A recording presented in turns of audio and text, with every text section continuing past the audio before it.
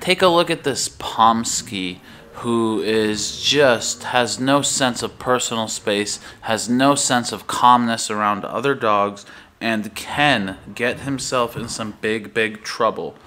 Here in a second, you're going to hear and see me calling my dog across the room, and as I call my dog, this Pomsky immediately changes directions and beelines my dog. Now, the first time this happens, you see my dog doesn't respond by pouncing on that other dog.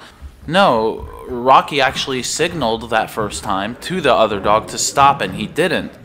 So the second time that dog ran over in the same manner, you can see that Rocky was less generous with his response. Now, this Pomsky is absolutely out of control.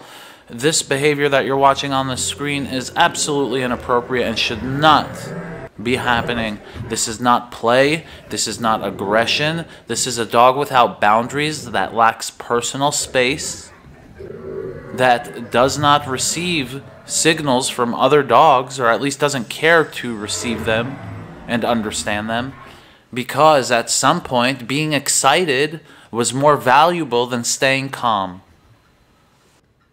Some dogs are more intense and will not tolerate this younger dog initially with more intensity, and that might be okay depending on how far they take it. You never want a dog getting hurt, right? Just because this dog is overexcited doesn't mean my dog can now go bite him and shake him up. That's not how this works.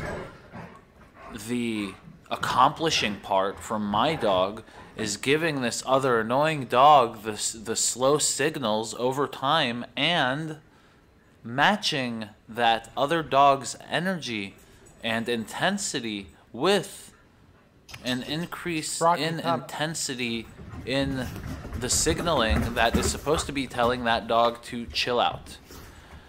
So when a dog is correcting another dog, they usually feel pressured, right? And by pressure, I mean social pressure or sometimes physical pressure on their space. And that dog will usually respond with some sort of signaling.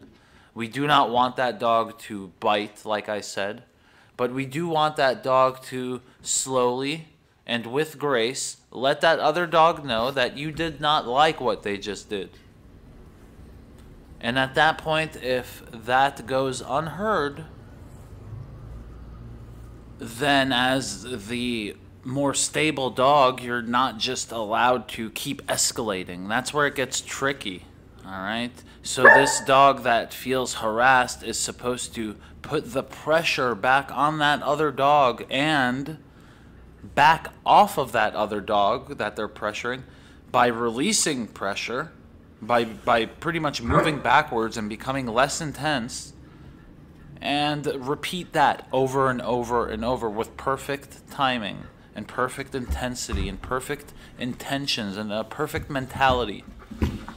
And that is the job of the dog that we count on to stop or play with this overexcited dog that they never wanted anything to do with in the first place.